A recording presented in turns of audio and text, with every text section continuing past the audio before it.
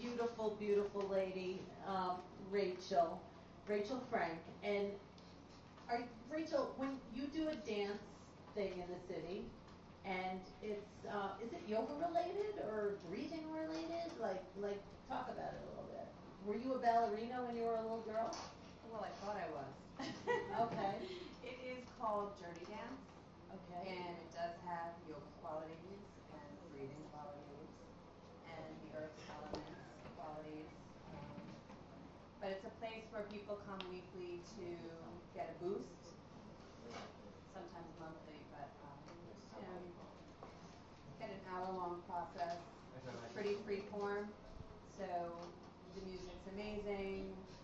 Um, I suggest certain movements, and everyone kind of takes it to their own level. And how did it go. start? Like, what made you find it?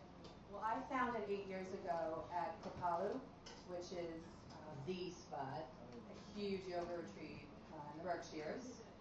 And uh, eight years ago, I met Toni Bergins, who is the founder of Journey Dance.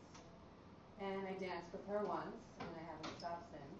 Wow. So you were hooked right from the second. I was you- hooked. Now, were you a yoga person, I dance was. person? I was, a- I was all of that. So do you think that that helped? Like somebody that has none of that and they go, would they get the same thing?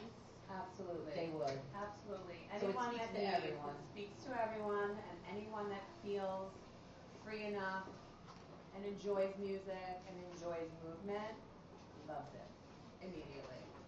Wow. And, So- and you do this in Union Square? I do this.